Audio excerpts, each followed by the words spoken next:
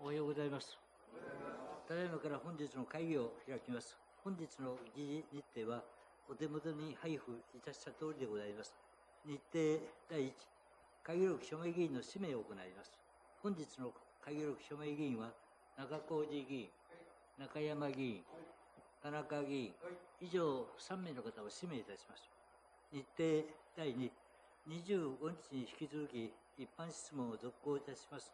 中浩二議員。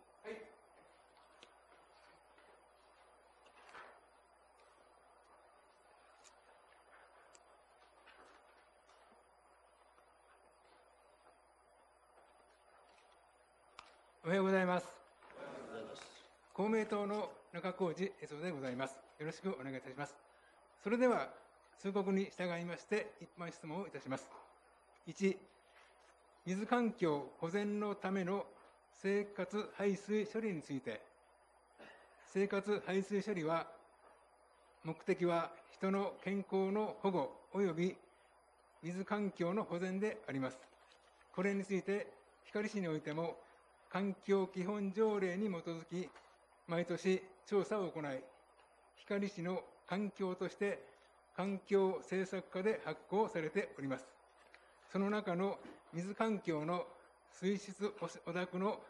実態把握のための市内の21の中小河川等の調査が行われています。調査項目は1、酸性アルカリ性を示す pH、2、最も一般的な水質指標で有機物の量で汚濁度、汚濁状態を示す BOD。3、浮遊物として濁りを示す SS。4、酸素の溶けている量で水の良好さを示す DO。5、大腸菌の数を示す大腸菌群数。6、プランクトンの増殖の栄養となって水質悪化の要因となる窒素の量を示す全窒素。同じくリンの量を示す全リン。8、主に合成洗剤の成分の量を示す BMAS の8項目です。令和元年度の結果では、1箇所の河川において、川の総延長が短く、流量が少ないため、自然浄化作用が働きにくい等の影響により、2の BOD が基準を超えているものの、他の河川においては、基準を超える項目はなく、市内の中小河川等の水質は良好な状態が保たれていると読み取れることができる結果となっております。生活排水処理は適正に行われていると言えます。そこで、生活排水処理に関わる施設、費用についてお尋ねいたします。1、公共下水道、あ公共下水道施設の現状などがどのようになっているかを確認したいと思います。あ、環境は令和2年度末において、関係が150ミリから1350ミリまで、その総延長が 221km ありますが、耐用年数が50年であり、これらの経過年数別に10年単位での長さ、資産残高をお示しください。毎年行っています、管路建設の開削工法と推進工法の工事内容、また、管路改良における敷設外と観光性の工事内容と、また、管路建設及び管路改良において、それぞれの工法のどちらを選択するかをどのように決められていますでしょうか。取り付け管設置工事及び公共マス設置工事の内容をお示しください。マンホールの箇所数、マンホール蓋の今までの取り替え済みの枚数と今後取り替えを要する枚数及び1枚あたりの取り替え金額をお示しください。い、三井及び室津に汚水中継ポンプ場の建設年度、建設工事費、資産残高をお示しください。う、マンホールポンプ7箇所のそれぞれの設置場所、設置年数、設置工事費、資産残高をお示しください。え、流域下水道施設利用利用権についてお示しください。2、次に、令和2年度の生活排水処理費用についてお尋ねいたします。あ、下水についてお伺いいたします。令和2年度光市下水道事業収益費用明細書の下水道事業収益の営業収益及び営業外収益において一般会計繰入繰入金が計上されていますが算出根拠をお示しください下水道事業費用について環境の清掃の内容実施頻度費用をお示しください環境の点検作業の内容、実施頻度、費用をお示しください。環境修繕の内容、費用をお示しください。流域下水道管理運営費負担金の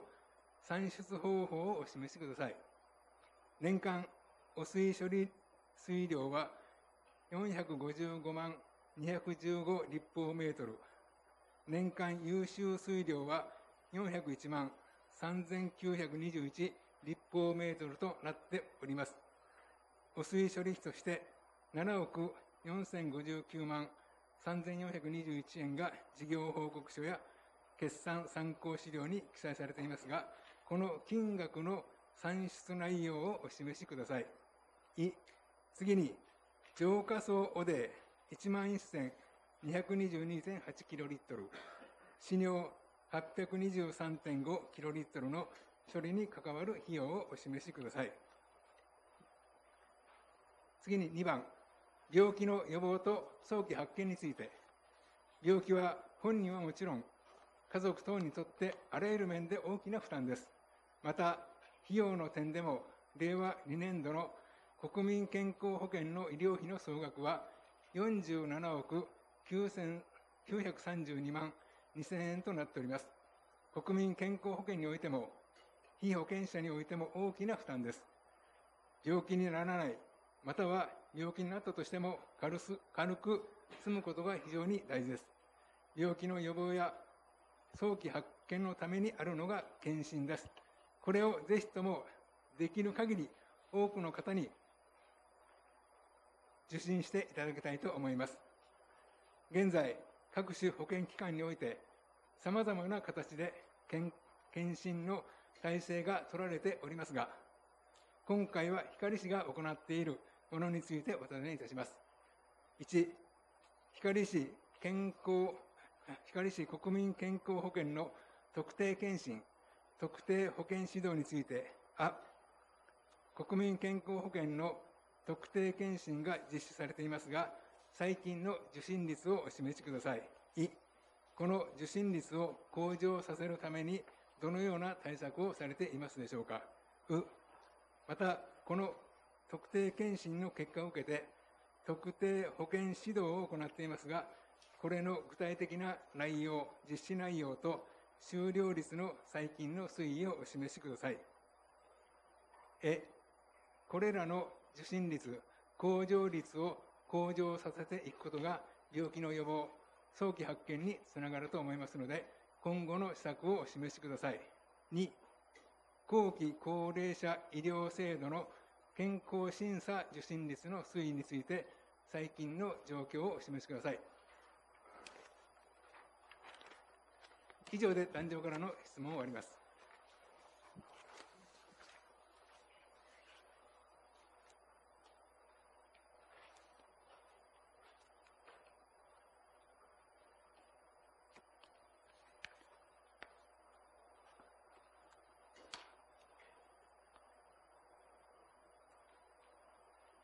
森重環境部長。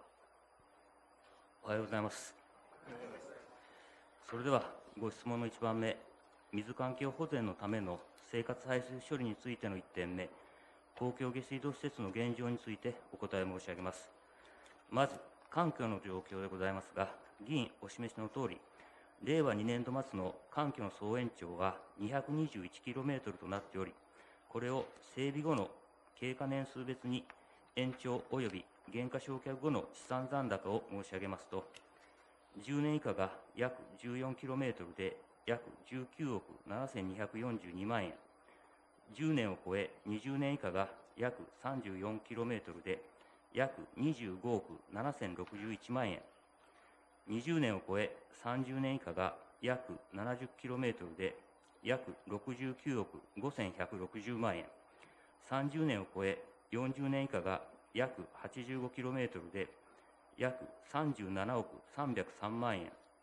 40年を超え50年以下が約 18km で約3億6494万円でございます。本市の環境は整備後の経過年数が30年を超え40年以下のものが最も多く次いで20年を超え30年以下となっておりこれらの延長割合は全体の約7割を占めている状況でございます。次に管路建設の開削工法と推進工法についてでございます。まず開削工法は地上から地盤を掘削し環境を敷設する工法。推進工法は地上から掘削を行わずに地盤の中を機械により掘削しながら環境を敷設していく工法でございます。これらの候補の選択にあたりましては経済性に加え現地の地理的要素や周辺環境などの条件を踏まえて検討いたしますが一般的には埋設管の深さが比較的に浅い箇所においては経済性や施工性が良い開削工法深い箇所においては経済性において有利となる推進工法を選択することとなります。また河川や交通量の多い国道などの下を横断する環境施設においては推進工法の選択が基本となります。次に管路改良における敷設替えと観光性についてでございます。まず敷設替えはただいまご説明申し上げました改札工法により地上から地盤を掘削して季節の管を撤去した後新たな管を埋設するものでこれに対しまして観光性は地上から地盤を掘削することなく季節の管の内側に新たな管を形成させるものでございます。これらの候補の選択にあたりましては一般的に観光性が経済性において有利であることからこれを選択する場合が多い状況でございますが季節の間が経年劣化等により大きな段差やたるみが生じている状態などで観光性が不適合な場合には敷設替えを選択することとなります。次に取り付け管設置工事及び公共マス設置工事についてでございます。取り付け管設置工事は宅地等からの汚水を道路下に埋設した下水道本館へ排出するための取り付け管を下水道本館から宅地等の境界まで設置するものでございます。また公共マス設置工事は宅地等に設置される排水管と市が設置する取付管をつなぐマスを設置するもので市が取付管を管理する上でも必要なマスとなります。次にマンホールの状況についてでございます。マンホールは市内全域で約9900箇所設置しておりそのマンホール蓋につきましては下水道ストックマネジメント計画に基づき安全機能等における規格の古いものや老朽化等により将来的に車の通行等に支障が生じる可能性がある218枚を優先的に取り替える予定としております。本事業は令和2年度に着手したばかりであるためこれまでの取り替え枚数は32枚となっており残り186枚の取り替えにつきましては引き続き他事業との事業費の調整を図りながら計画的に実施してまいりたいと考えております。また1枚あたりの取り替え金額につきましては取り替え時の状況により変動はございますが令和2年度3年度の実績で約30万円程度でございます。次に汚水中継ポンプ場の状況についてでございます。汚水中継ポンプ場は市内に2カ所整備しておりそれぞれ建設年度工事費令和2年度末の資産残高を申し上げますと三井汚水中継ポンプ場が平成7年度建設。工事費約5億7524万円。資産残高約1億5067万円。室積汚水中継ポンプ場が平成14年度建設。工事費約4億1189万円。資産残高約1億9085万円となっております。次にマンホールポンプについてでございます。マンホールポンプは市内に7カ所設置しており、それぞれ設置年度、工事費、令和2年度末の資産残高を申し上げますと、島田マンホールポンプが平成10年度設置、工事費約1831万円、資産残高約136万円、三井マンホールポンプが平成13年度設置、工事費約1227万円、資産残高約128万円、ウルーダマンホールポンプが平成14年度設置、工事費約2億3078万円、資産残高約9066万円、室積には4カ所設置しており、整備順に平成17年度設置分が工事費約1547万円、資産残高約487万円、平成20年度設置分が工事費約1981万円、資産残高約900万円、平成22年度設置分が工事費約2094万円、資産残高約1145万円、平成30年度設置分が工事費約2134万円で、資産残高約2056万円となっております。次に、流域下水道施設利用権についてでございます。本市の下水道の終末処理は、山口県が運営する周南流域下水道浄化センターで行っておりますことから、周南流域下水道の構成市である本市、岩国市、周南市の3市で、流域環境や浄化センター施設の建設費を負担しているところでございます。こうした負担の公益用会計上の処理につきましては、負担総負担総額をもとに、対応年数を勘案して算出した額を下水道施設利用権として無形固定資産に計上することとなっており、その資産残高は令和2年度末で約17億4085万円でございます。次に2点目、生活排水処理費、生活排水処理費用についてお答え申し上げます。まず、下水について、令和2年度下水道事業収益費用明細書の営業収益及び営業外収益における一般会計繰入金でございますが、これらにつきましては、国が示す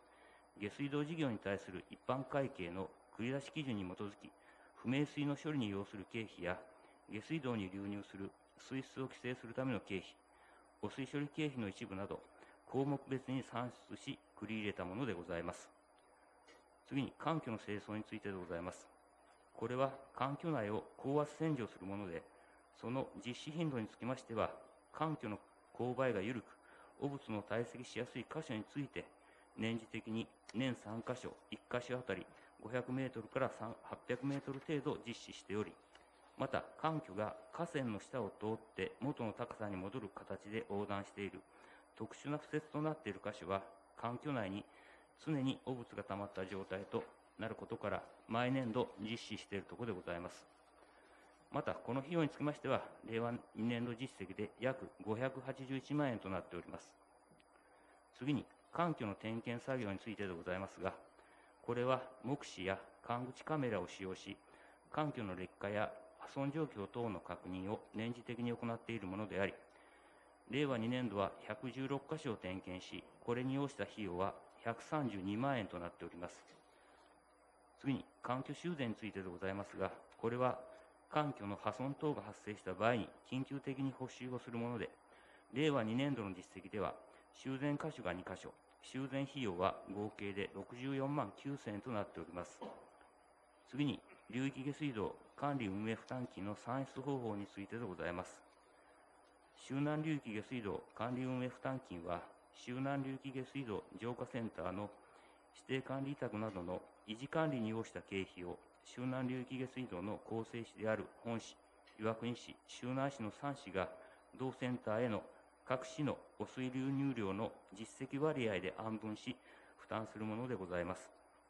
この負担金の状況について、令和2年度実績で申し上げますと、本市の負担割合は57%、負担額は約3億182万円でございます。次に、令和2年度の汚水処理費7億4059万3421円の算出根拠でございますが、これは国が示す決算処理に基づき算出したもので、維持管理費3億9080万5861円、下水道施設の減価償却費5億5697万6555円、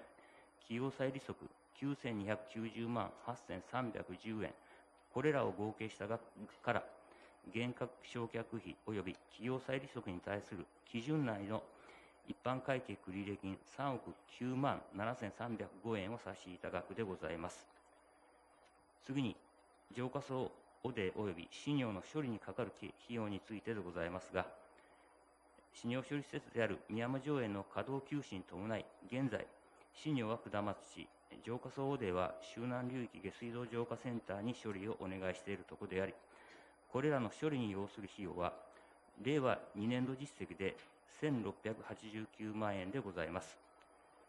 今後とも公共下水道施設の適切な維持管理や効率的な事業運営に努めながら、水環境の保全に向けて取り組んでまいりたいと考えております。以上でございます。中小路議員。はい、それではあの質問をさせていただきます。下水道事業費用の主なものは、流域下水道管理運営費負担金、減価償却費、企業債利息で8割以上を占めています。減価償却費、企業債利息は固定資産の増加に伴いますが、企業債利息は現在利率が低いため、新たな企業債を発行しても影響は少ないと考えられますので、固定資産、特に環境に関わる資産の増加についてお伺いします。管路建設は普及率の向上のため、ぜひとも必要な事業でありますけれども、これらの建設負担、建設金額を抑えるために、どのような対策をされていますでしょうか？森重環境部長。環境の、えー建設金額を抑えるための対策でございますが、えー先ほど申し上げましたように、えー広報の選択における適正な経済比較のほか、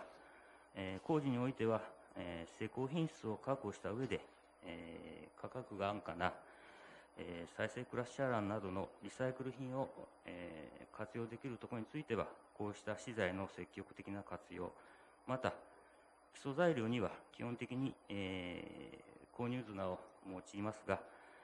監督職員が現場で適宜確認の上、現場の発生度が良質な砂であれば、これを用いるなど、えー設計及び、えー施工管理の段階において可能な限り、コスト縮減に取り組んでいるところでございます。以上でございます。中小路議員。はい、わかりました。ありがとうございます。環境の対応年数は50年ですが、できる限り長く使えるように、どのように対応をされていますでしょうか？森重環境部長。はい。えー環境を長く使うための対応についてでございますが、えーまあ、これらを長く使うためには、えー環境の状態を的確に把握した上で、えー改築の実施を判断することが重要となってまいります。このため、えー環境につきましてや、え腐食やクラック等の劣化状況を確認するための点検調査を定期的に実施し、健全度を評価した上で、改築の緊急度を判定しているところでございます。従いまして、えー環境の改築は、標準対応年数を参参考にするものの、えー個々の環境の健全度の評価に基づき、えー健全性を確保できる範囲内で、改築軸を判断しているところでございます。以上でございます。中小路議員。はい、わかりました。ありがとうございます。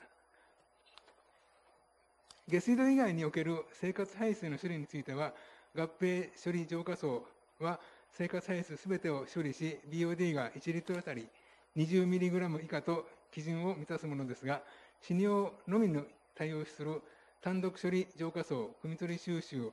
は、生活脱排水をそのまま河川等に排出するため、汚濁の原因になります。特に単独処理浄化層は死尿処理に後に排出し、BOD も 90mg 以下と甘い基準で、汚濁の度合いはさらに大きくなっています。推計で単独処理浄化層人人口が約3000人、汲み取り収集人口が約4000人ですが、これらを合併処理浄化層に転換するようお願いしておりますが、100万円程度の費用となるため、補助金交付を事業を行っております。冒頭にも述べましたとおり、現在、河川等の水質はおおむね良好ではありますが、より良い環境保全のために合併処理浄化層転換と下水道普及の推進をしていければと思います。ただいま、工事や処理等の内容、費用について現状をお示しいただき、一定の理解をいたしました。今後、より効率的な生活排水処理事業となることを願いまして、この項の質問を終わります。永田市民部長。はいおはようございます。えそれでは、ご質問の2番目、え病気の予防と早期発見についてお答え申し上げます。えまず1点目、光市国民健康保険の特定健診、特定保険指導についての、あ、受診率の推移についてでございます。えー特定健診は国の指導のもと、生活習慣病のリスクを増幅するメタボリックシンドロームに着目した検診として、平成20年度から開始しており、身体測定や血圧測定、血中脂質検査、尿検査等の基本的な検査項目、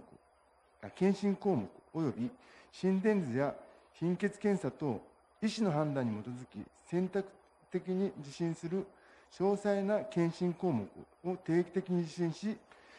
その検診結果に基づき、生活習習慣の改善に向け、明確明確な動機付けを行おうとする行う行うことで、被保険者の健康維持増進と医療費の適正化につなげようとするものでございます。特定健診の受診率についてのお尋ねでございますが、直近3年間の状況でお答えしますと、平成30年度がえー27.6%、令和元年度が34.9%、えー令和2年度が31.6%となっております。えなお、令和元年度につきましては、え後ほどご紹介いたしますさまざまな施策の成果により、え受診率が大幅に上昇したものの、え令和2年度においては、え新型コロナウイルス感染症の拡大に伴う受診控えの影響で、えー受診率が低下しております。えーまた、えー令和3年度の受診率をお答えいたしますと、えー令和4年1月26日現在、え26.1%となっており、えー現時点では、えー令和2年度を上回るペースで推移しているところでございます。えー次に、い受診率向上の対策についてでございます。受診率の向上対策につきましては、毎年さまざまな施策を講じております。代表的なものをお答えしいたしますと、まず、令和元年度から個人で受診した場合、約1万円かかる自己負担額を無料化するとともに、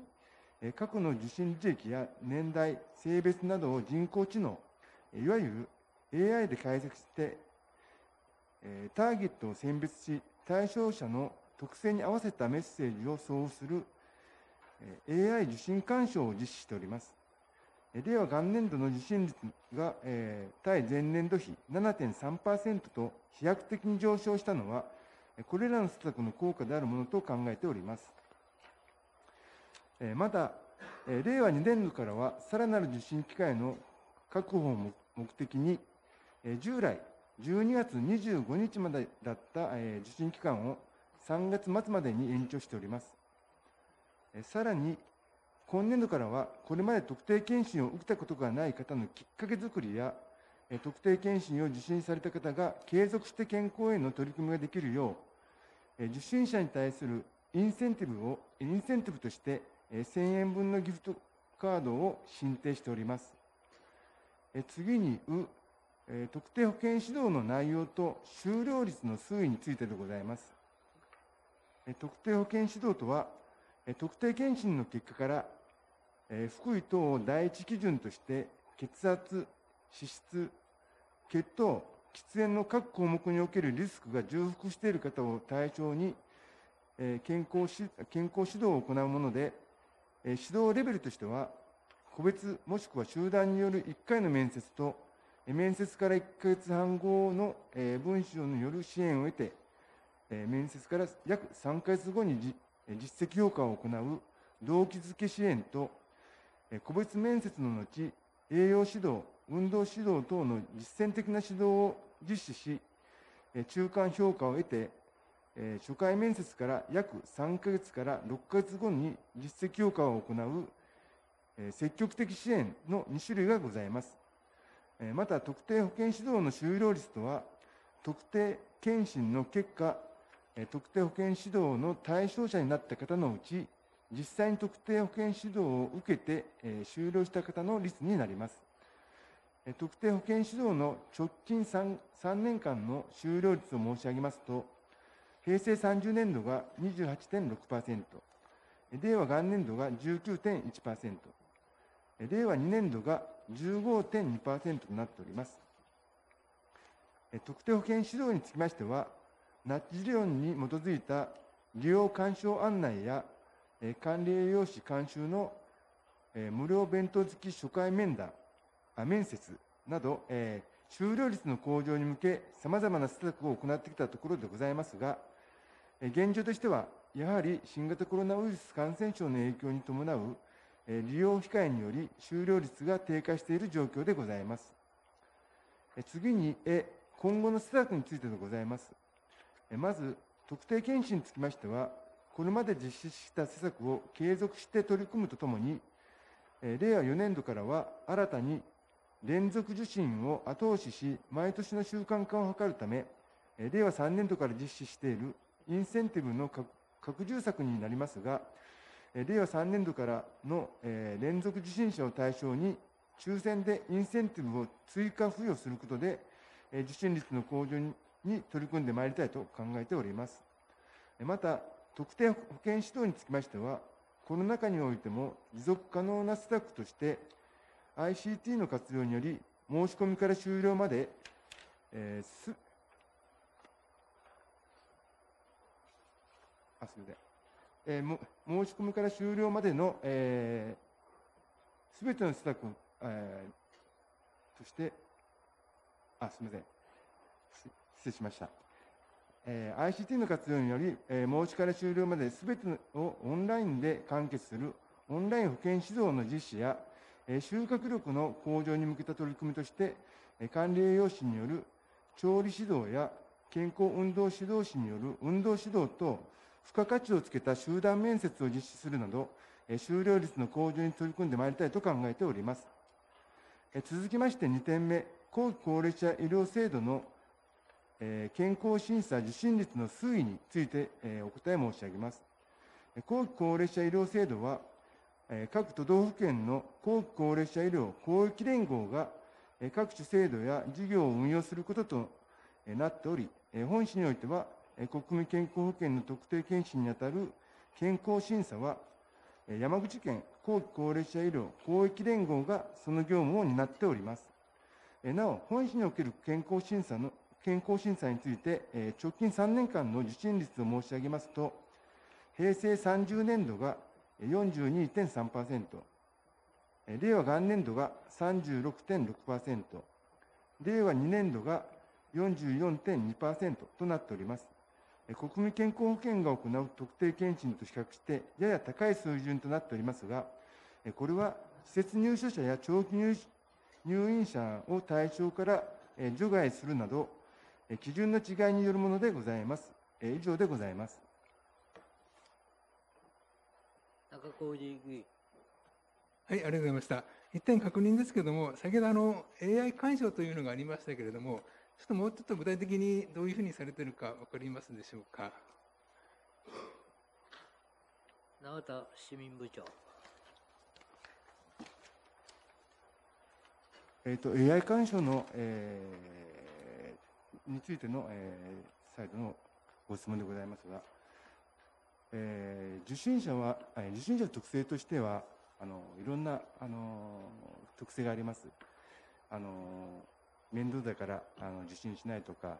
忙しいから受診しないとか、いろんな特性がありますので、その特性を、えーまあ、年齢とか性別とかそういったのも含めて AI で分析して、えー、例えばあの4種類の今、文章を発送、あ、これまで4種類の文章を発生していますが、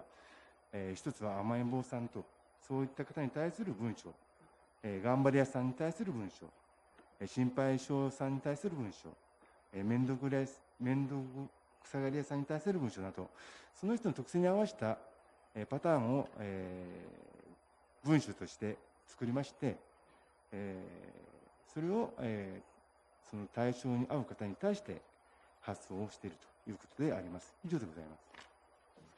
中小路議員。はい、わかりました。ありがとうございました。えっと、受信率の目標と設定の根拠というのはどのようになってますでしょうか？永田市民部長。えー国民健康保険の受診率等の目標目標値についてでございますが、えーこれは、えー厚えー厚生労働省が定めた特定、えー健康審査等基本指針において、えー示されておりまして、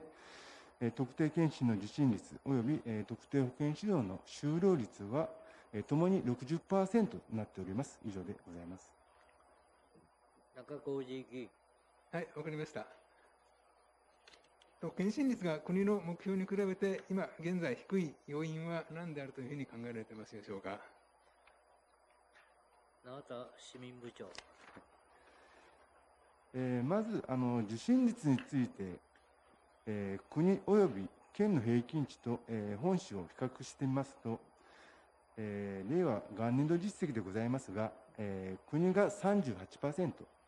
えー県が30.3%、えー本市が34.9%となっており、えここ数年はおおむね国より低く、え県より高い状況でございます。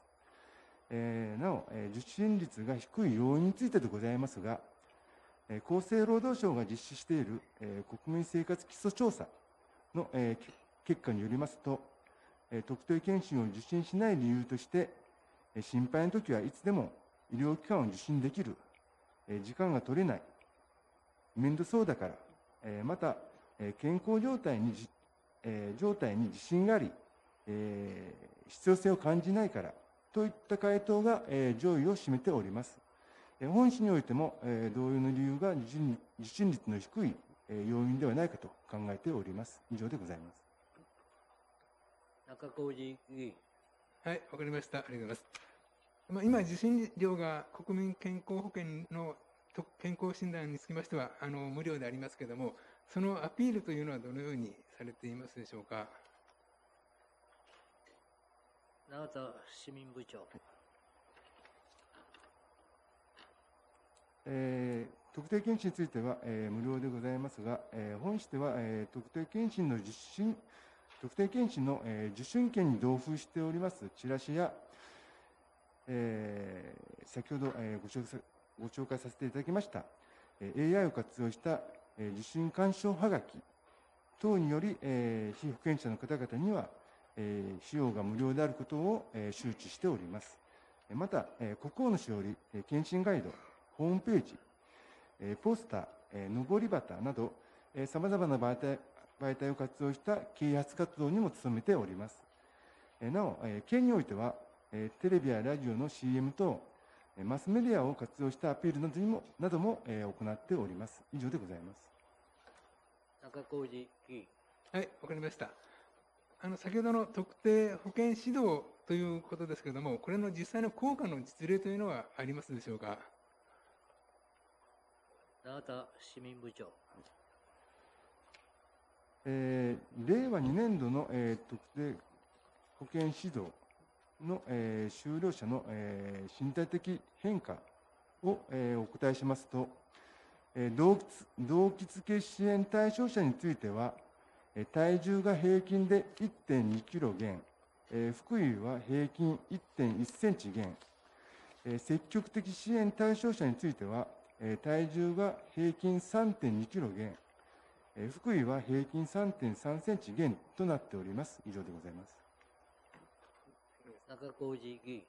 あ非常に効果があるということも分かりました。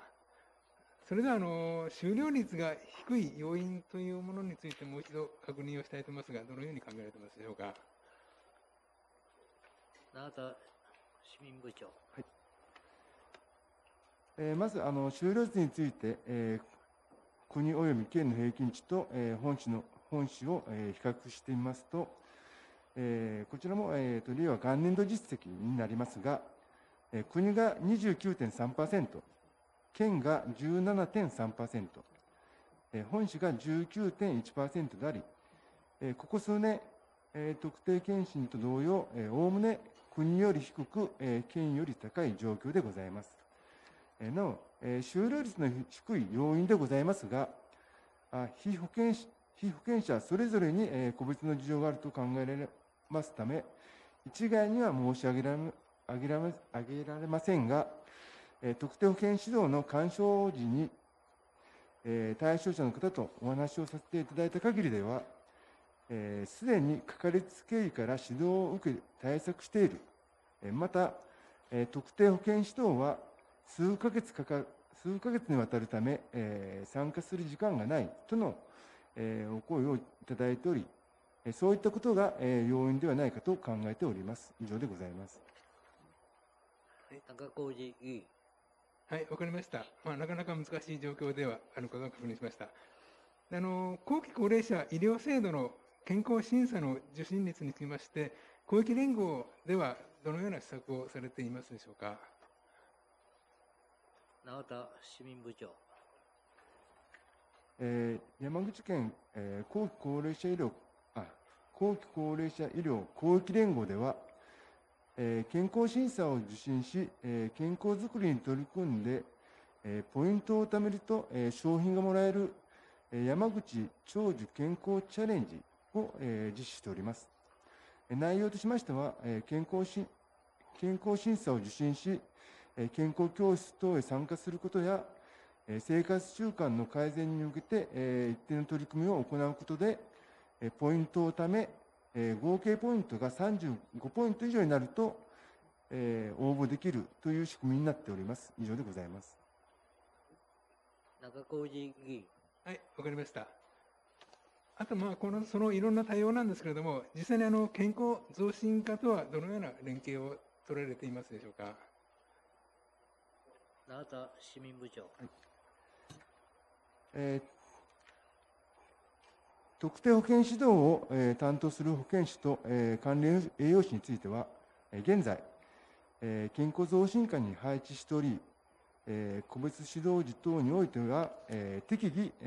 健康増進課の保健師等から、助言をいただいております。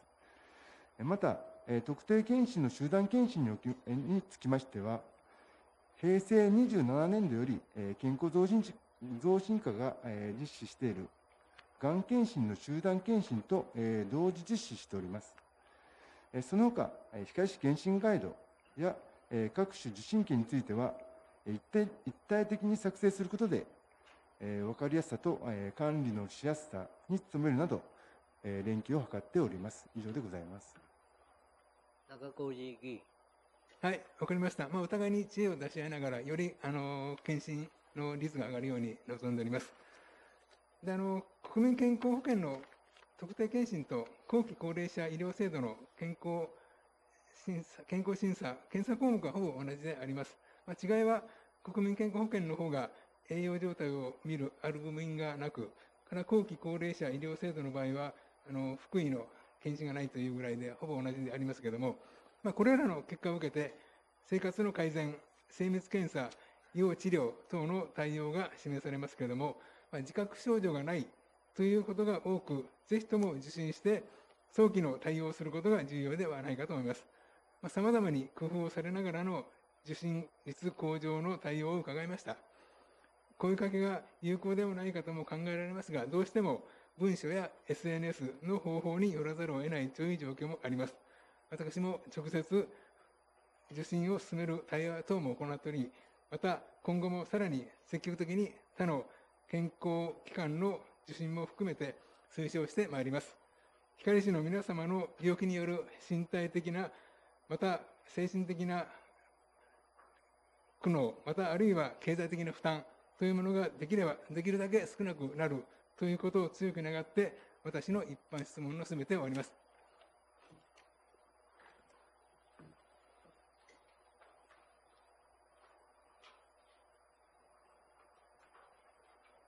ここで残り休憩いたします。再開は心霊をもってお知らせいたします。なお、10分間程度の休憩といたします。